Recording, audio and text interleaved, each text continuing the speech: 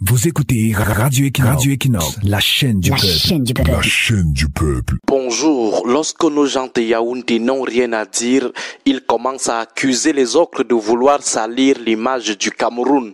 Au lieu d'avoir honte de l'état dans lequel ils ont plongé le pays, ils passent leur temps à accuser ceux qui dénoncent de vouloir salir l'image du Cameroun. Il faut toujours trouver des boucs émissaires, des journalistes qui sont accusés, harcelés pour avoir mis à nu une imposture qui salit l'image du pays, des hommes politiques et acteurs de la société civile qui font en permanence l'objet de filatures, de brimades et de répressions juste parce qu'ils dénoncent ces gens qui sont en réalité les vrais auteurs du délabrement de l'image du Cameroun, qui salit en réalité l'image du Cameroun, ceux qui provoquent la saleté ou ceux qui dénoncent la saleté, qui salit réellement l'image du Cameroun? Lorsque les voient les niveaux de longévité et les âges gravement avancés des dirigeants camerounais, peuvent-ils avoir ou alors garder une bonne image de la démocratie camerounaise ou de la mobilité politique au Cameroun, surtout que ces gens qui s'éternisent au pouvoir n'ont pas des bilans qui peuvent justifier de telles longévités, de tels cramponnements au pouvoir, qui salient finalement l'image du Cameroun?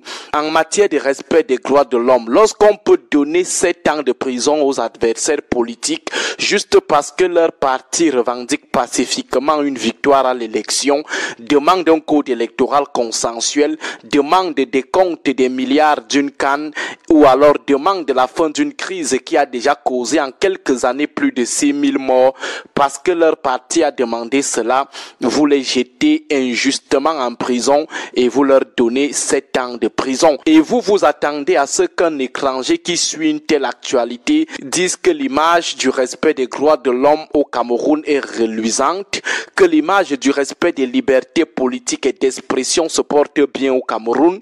Vous voulez que l'étranger qui apprend qu'au Cameroun, les gens cités dans l'assassinat d'un journaliste comme Martinez Zogo sont tous de l'appareil de l'État ou alors des arcanes du pouvoir retiennent du Cameroun l'image d'un pays enviable. Vous avez en prison des premiers ministres, ministres d'État, directeurs généraux accusés d'avoir volé l'argent du peuple. Et vous voulez que l'étranger qui apprend cela dise que le Cameroun jouit d'une bonne image.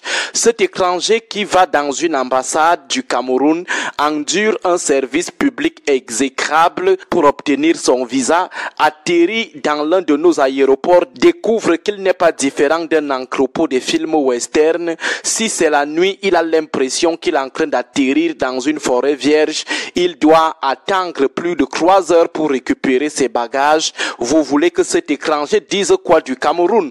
Aura-t-il vraiment une bonne image du pays Cet étranger, pour se rendre dans un quartier ou dans une localité du pays, emprunte une route comme celle des Mombo, celle du marché des Toudi ou celle de Morakousseri. Vous voulez qu'il garde une bonne image du Cameroun? En plein Yaoundé, il réside dans un quartier qui fait deux, trois jours dans le noir, sans électricité, sans eau. Vous voulez qu'il applaudisse le Cameroun? Ce sont les journalistes, les chaînes de radio, télé qui attirent l'attention des pouvoirs publics sur l'impact de leur gouvernance de la méchanceté qui sont responsables du ternissement de l'image du Cameroun. Des expatriés arrivent pour investir. Vous les découragez avec des taxes incongrues. Vous leur demandez de mouiller d'abord vos barbes avant d'investir. Ils mettent même leur argent, vous le volez. Vous bloquez leurs investissements parce qu'ils ne vous versent pas votre part. Lorsque les expatriés rentrent chez eux déçus avec une mauvaise image du Cameroun, c'est la faute aux opposants, c'est la faute aux journalistes et médias, c'est la faute aux activistes.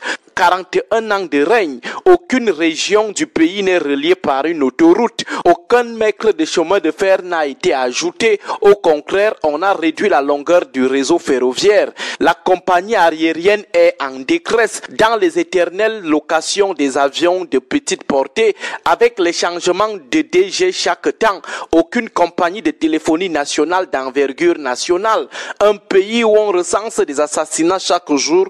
Un pays qui est secoué par deux crises armées, la crise anglophone et la crise de Boko Haram. Ce sont ceux qui critiquent les mauvais choix du gouvernement qui sont responsables de l'enlisement de ces crises qui peuvent être facilement domestiquées par la simple bonne foi et la bonne volonté, finalement, sur ce coup qui salit réellement l'image du Cameroun. Vous voulez que tous les Camerounais ferment leur bouche, n'attirent plus l'attention du peuple sur la gouvernance de la ruine de l'ogre de 82.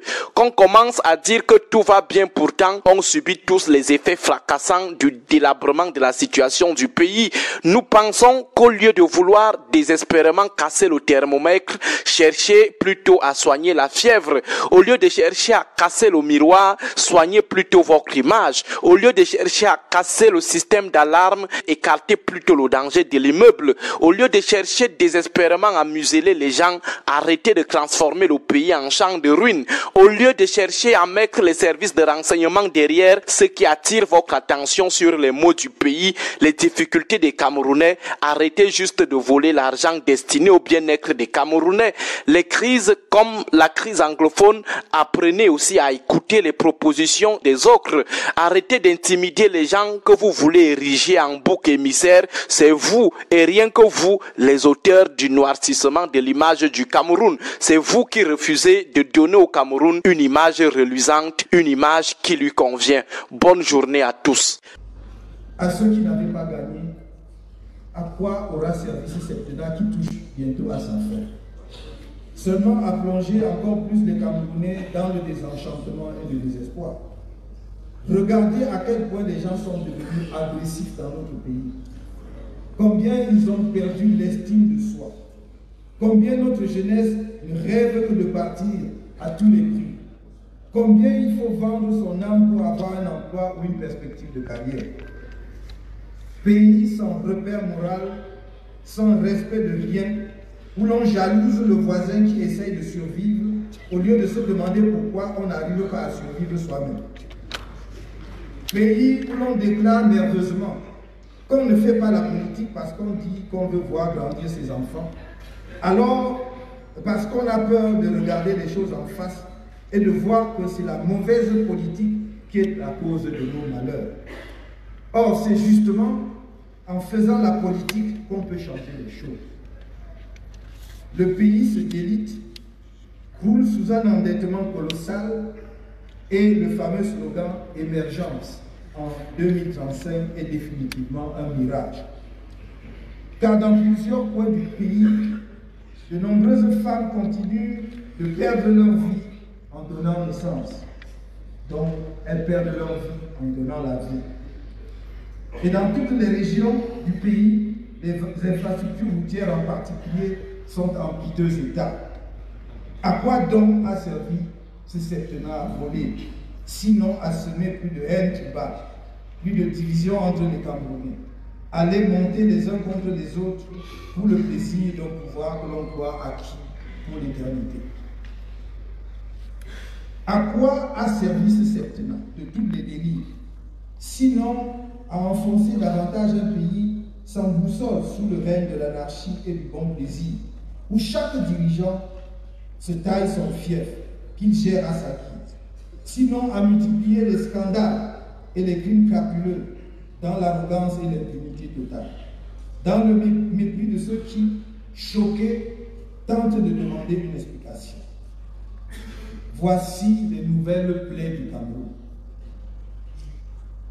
Gate, Covid Gate, Glencore Gate, ligne 94 et 65 Gate, autoroute Yaoundé Douala Gate, Savannah Gate, barrage Nartigal Gate, Assemblée nationale Gate, émoluments et fausses taxes à témoins Gate, procédure judiciaire sur des assassinats monstrueux Gate, route Kribi et Bolova, par Acom 2, Gate, et Chamoubli et